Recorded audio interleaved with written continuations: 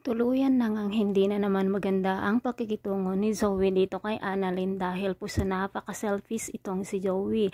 Samantala sa pag-uusap naman po nila Doc uh, Lindon at Annalyn, sinabi ni Doc Lindon na kailangan daw meron siyang kasama sa uh, kanyang session kung kaya't uh, itong si Annalyn nga po ang kanyang makakasama at tuwang-tuwa nga po si Annalyn dahil nga siya po ang isinama ni Doc Lindon at habang nandoon na nga po sila sa season, sinabi ni Doc Lindon dito kay Annalyn, I'm so grateful dahil nandyan ka at sabay niyakap nga po niya itong si Annalyn.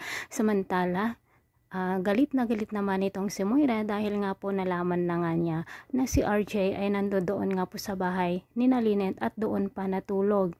Kung kaya tinawagan niya si RJ at galit na galit ito at sinabi na kapag hindi siya uuwi ay uh, mayroon siyang gagawin.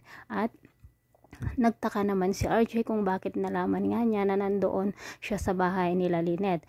Kinausap nga po niya si Linet at Carlos at tinanong kung sino kaya at sinabi nga kung sino kaya ang naka uh, na kapag sabi dito kay Moira na nandoon nga po siya sa bahay nila. At sinabi pa niya na wala naman daw ibang nakakaalam kundi si Linet lamang at si Doc Carlos.